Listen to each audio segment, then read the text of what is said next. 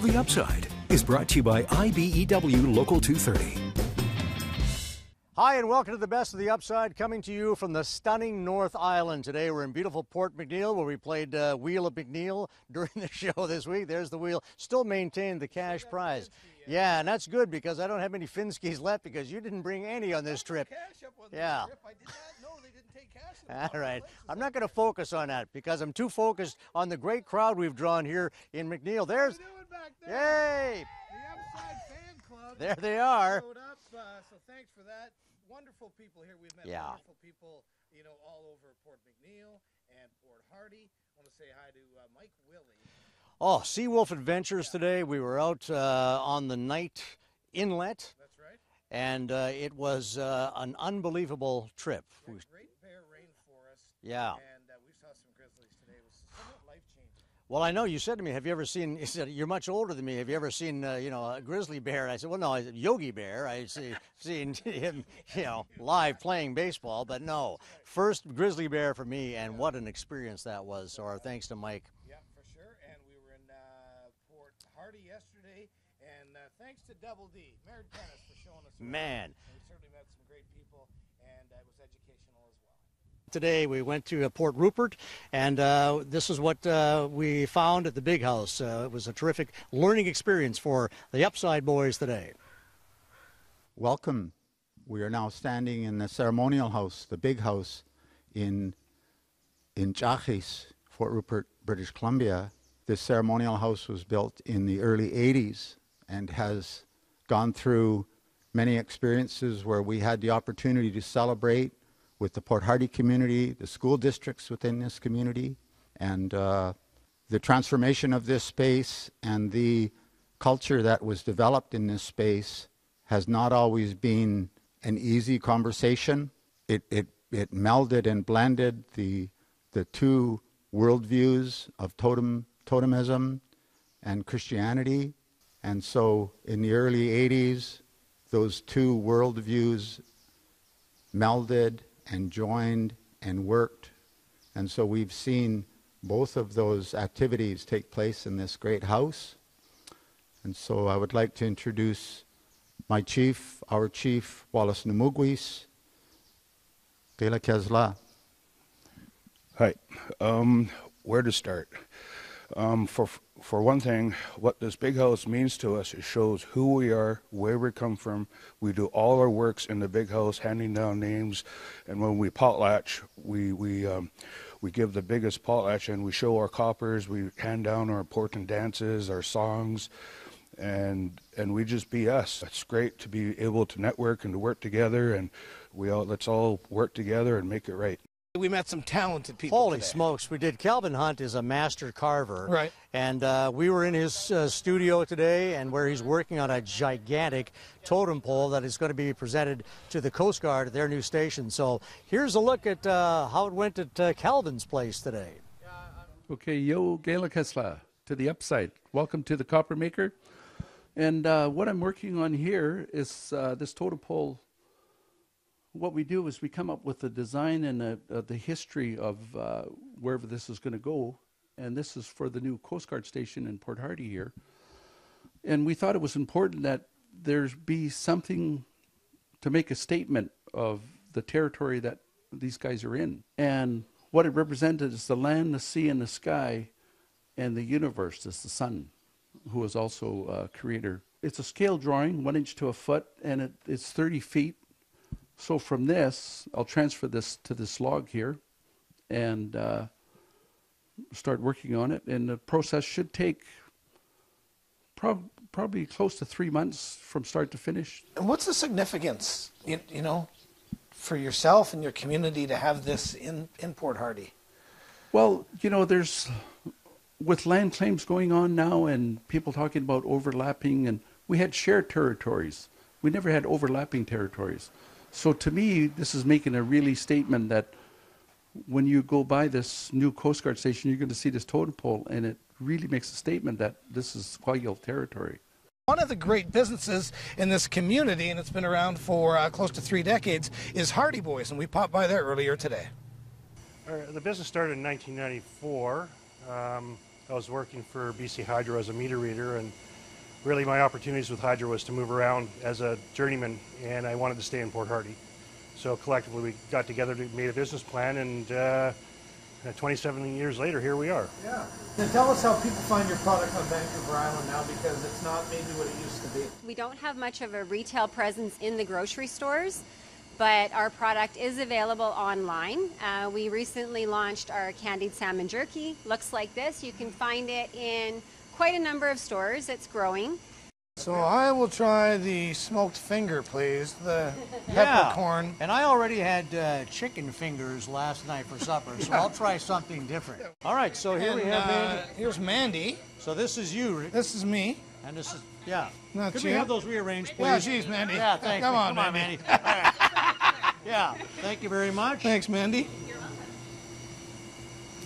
Oh yeah, Oh, very good.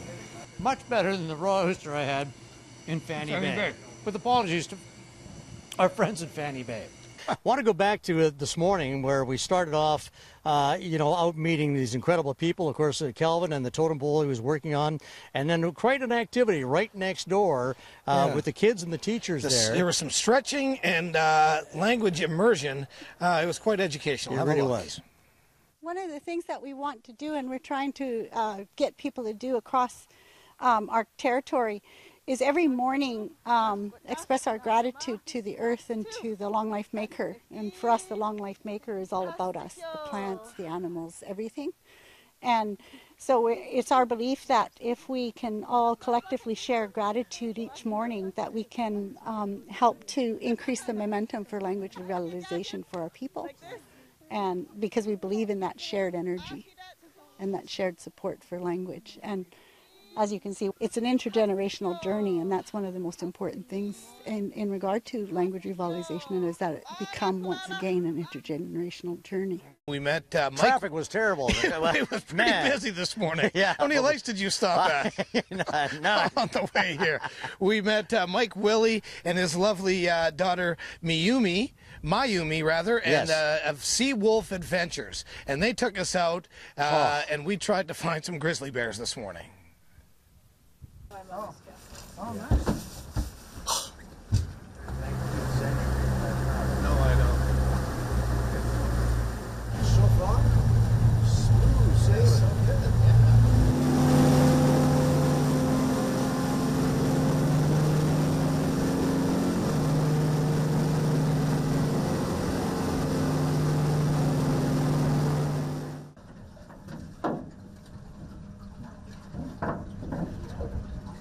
see?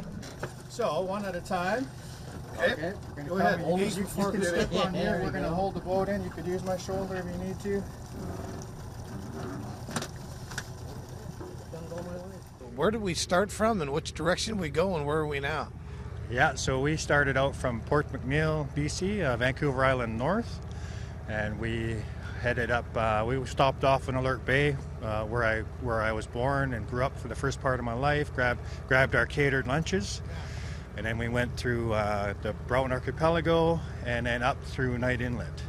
How far is that trip in like miles or kilometers or? Talking about maybe 55 to 60 nautical miles from from Port McNeill. You must have hosted people from right around the world that, that probably come here just for this reason. That's right. So we, we've built our company up, uh, I would say, quite rapidly. We're Indigenous owned, family owned.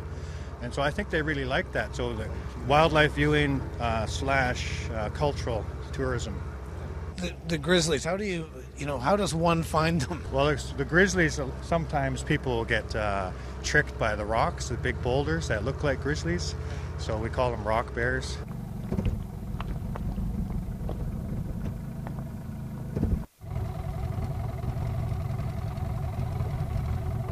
Well, it a while, but we did it. Yeah, yeah. Lenore came out, and her cubs are about three and a half years old, and so the cubs will stay with them, the mum longer if they're not doing that well. So that's why they're they're they're quite big. You've seen them, but uh, very exciting. You know, we, we went we went right up the the estuary, up the river, and didn't see anything. Went back to the boat, and and just sometimes that happens. They pop out, you know, and uh, it's great. What a week we Oh. coming back up to the north part of the island again. Yeah. Stunning scenery, beautiful people, and just an amazing experience. And we should say thanks again to our buddy Mike Willie. Seawolf, yeah, seawolfadventures.com. That's the website. Book one of these tours. It is, it's fabulous. It's a, you know, it's a full day for sure. There's a bathroom on board, by the way, just so you know. So that's all good there. But uh, yeah, well, you know, a little, little queasy early this morning, but that's the way it goes. Anyway, book yourself one of these tours. It's uh, absolutely incredible to see a live grizzly bear as we did today. Yeah. Speaking of three, Kevin Charach and Cole Sorensen are the two guys that provide the great stories on the upside, and we'll check them out after a short break. Stick around. The Upside is brought to you by IBEW Local 230. The Upside is brought to you by IBEW Local 230. Welcome back to the best of the upside, enjoying the north part of Vancouver Island. I've not been to Port McNeill since when Willie Mitchell won the Stanley Cup. It's about a decade. Yeah, and I haven't been here since 2007 in the Tour de Rock, and you did it as well in 02 and 03, and so that was our last experience with the North Island. It won't be our last experience. We'll be back here, and if you haven't been to the North Island before or haven't been for a while, you need to get up here. It's uh, spectacular. It's it's raw. It's rugged, and uh, it's stunning. Speaking of raw, rugged. Yeah, oh yeah. Some great stories this week from Kevin Charach and Cole Sorensen. Take a look. Congratulations, Matt. Thank you. Triathletes like Matthew Sharpe are a special breed. You gotta hurt a little bit in the right way, of course. One. Yep. It's a no pain, no gain sport Sharpe quickly fell in love with around two decades ago when his idol Simon Whitfield achieved Olympic immortality. I'd never really heard of triathlon until he won his gold medal. Uh, and, you know, seeing him cross that finish line and, and, you know, achieve a huge moment for Canada, you know, it was incredibly inspiring. Sharpe started competing at a young age in his hometown Campbell River before moving to Victoria as a teen and eventually becoming a national champion. That's around the time CHEK News first met Sharpe at Thetis Lake in 2010. Pretty confident after the uh, the win at nationals. Today he's bigger, stronger, and faster. Well, this is the fifth Olympics that I've coached Canadian athletes for, and Matt is definitely cut from the same cloth as his predecessors. And Lance Watson should know. He's coached the likes of Ironman champion Brent McMahon and the aforementioned two time Olympic medalist Whitfield. Do not be afraid to look within yourself for that last 400. He says the two elite Islander athletes have played a big role in Sharpe's rise in the sport. The sharing of knowledge and the passing the baton from generation to generation is really powerful in this community. And after a year long delay, Sharpe is now in the final stages of climate training with a trip to Tokyo just days away. It's been a dream of mine since I was a kid. Uh, to compete at the Olympics and to represent Canada. And, you know, we almost didn't have this opportunity. And so I'm seriously just so grateful. I think that, you know, I'm most proud of him as the person that he has become and the young man that he's become. He's shown um, an incredible amount of determination and grit and perseverance through all of this. Following in the footsteps of a Canadian icon, now ready to write his own Olympic story. Our goal is to come back with a medal, so I'm uh, very excited for that opportunity as well. We have a terrific upside story to share with you tonight. Those with pets know that traveling with animals can be a bit of a challenge, but one Victorian man wouldn't want it any other way as he and his dog are set to embark on a cycling journey to the Arctic. And it's all for a good cause. Kevin Charach has the story. Meet the cycling road trip tandem of Paul and Cinder. She's always smiling. She's always staying positive. Uh, she doesn't complain. We're definitely meant to be. Cinder, say hi to the camera. Together, they have a thirst for adventure and are set to embark on the ultimate expedition. We're going to be cycling from Victoria, BC, up to uh, the Arctic. It's a near 4,000 kilometer journey to Tuktoyaktuk, not meant for the faint of heart. We have bear spray. We have uh, a pen for bear bangers. But it's not the first time this school teacher and six year old Husky Shepherd have hit the road. A few years back, Paul and Cinder traveled to Manitoba for a spiritual ride in honor of Paul's late grandmother. Through that journey, uh, I realized that she is able to take on something of that magnitude. We make stops about every hour. And now they're heading north with a special purpose. This time around, uh, we wanted to give back and support an organization that um, deals with vet care when it comes to animals. They'll be riding for Broken Promises Rescue, a volunteer run nonprofit helping orphaned animals get the help they need. It's a cause Paul felt personally connected to, as Cinder is also a rescue who's dealt with health issues in the past. That's what inspired me to kind of give back to this uh, organization because I understand how difficult it is to come up with that money and uh, for the care of your animals. Earlier this week, Paul set up a volleyball tournament fundraiser for the cause and launched a GoFundMe page. Uh, we spend about 120,000 a year, but so this is going to be a huge help. I think it's just utterly amazing what he's doing. Pedaling while paying it forward and making lifelong memories with his best friend. Pro soccer is set to return to Langford in just a few weeks, marking Pacific FC's first home game in nearly two years. And one season ticket holder is hoping to give, uh, get fans in the spirit while also giving back to those who could really use it right now. Kevin Charach has the story. Seat 15 and 16.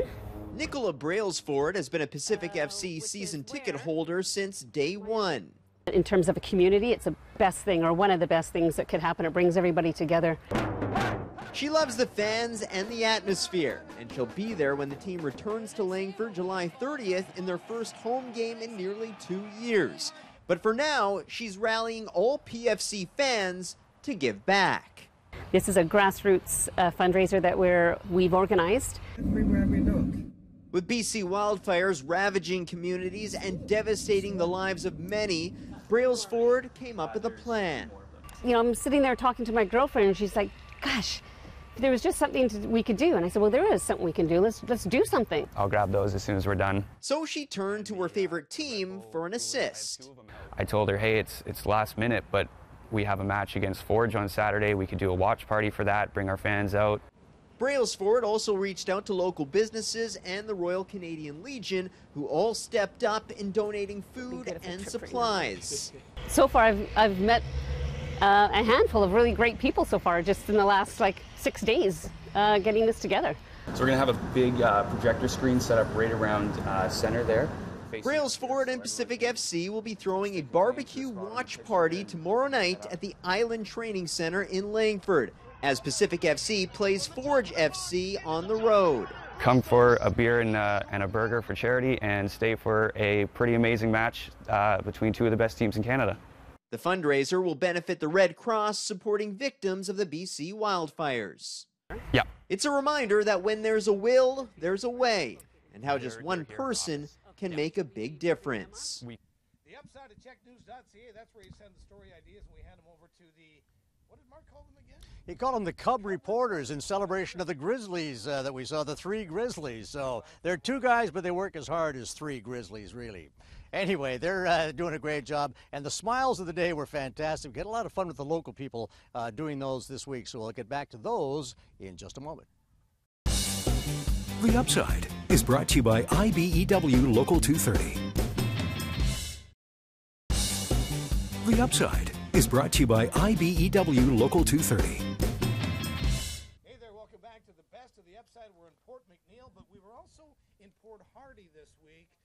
Had some fun meeting some of the locals. Well, we did. We had a little game we devised called the Port Hardy Har Har, where we thought we would tap into some of that North Island comedy that uh, nobody's mined before up until the upside got up here. So here's some samples of the Port Hardy Har Har.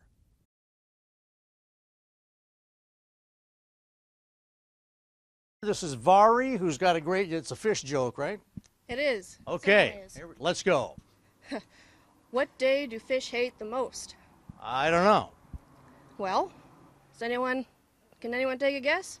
I- Okay, I'll say uh, Monday because nobody likes Mondays. Nah, well, not quite. That's actually quite the opposite. It's Friday. Well, of course, yeah. right, yeah. Great no joke. fish likes Friday. People are uh, giving us great jokes, and Caitlin's going to give us a great one right now. What's your joke? What is a robot's favorite music? I what is a robot's favorite music? I don't know. Heavy metal.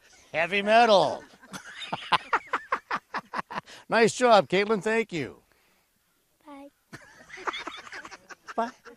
The Port Hardy Har Har Joke Festival from the North Island continues. This is Willis. Hi, Willis. We're here on Storey's Beach. Isn't this beautiful? Oh, it's beautiful. I Man love it. alive. Yeah. All right, let's get that joke from you.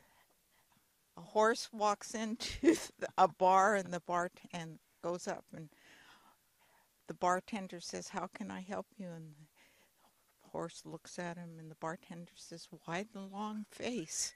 Oh, that's terrible. No, well, well, then it belongs on this show. That's perfect. Yeah. Thank you, Willis. oh, you, you're not welcome, but yeah. Another Port Hardy Har Har. This is uh, the beautiful Lorraine here on Storey's Beach today. Nice to have you on the show, Lorraine, and thanks for watching. You watch most nights. Yes. Oh, I do. Yes. Well, that's terrific. How do you how do you stand that? yes. The upside, always one of my favorites. Well, yes. thank you very much. Well, we're happy to have you on the show tonight. The Har- Port Hardy Har Har Joke Festival continues, and let's have yours. Uh, what's the difference between um, a shower curtain and toilet paper? I don't know. Well, if,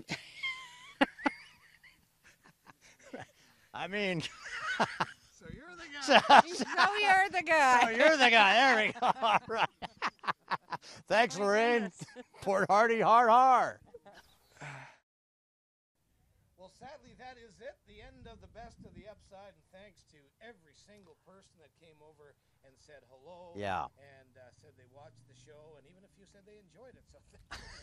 yeah, I was surprised at that, but we got a little bit of that this time. So, yeah, great time up here. I uh, hope you got a chance to swing by to play Wheel of McNeill with us and win any number of our great prizes. Look at this array of prizes we had here. I mean, we had, you know, hot rods in the gas station, we had pull tabs, coffee cups, five bucks. I mean, take that, uh, Jeopardy. Good luck. hey, tomorrow, big show. Big show. We are going to uh, tackle our fear of heights tomorrow night. We're going to go to the Malahat Skywalk. And Yeah. Give you a behind-the-scenes look at uh, Vancouver Island's newest attraction. Join us then tomorrow night at 5. Until then, have a good night. The Upside is brought to you by IBEW Local 230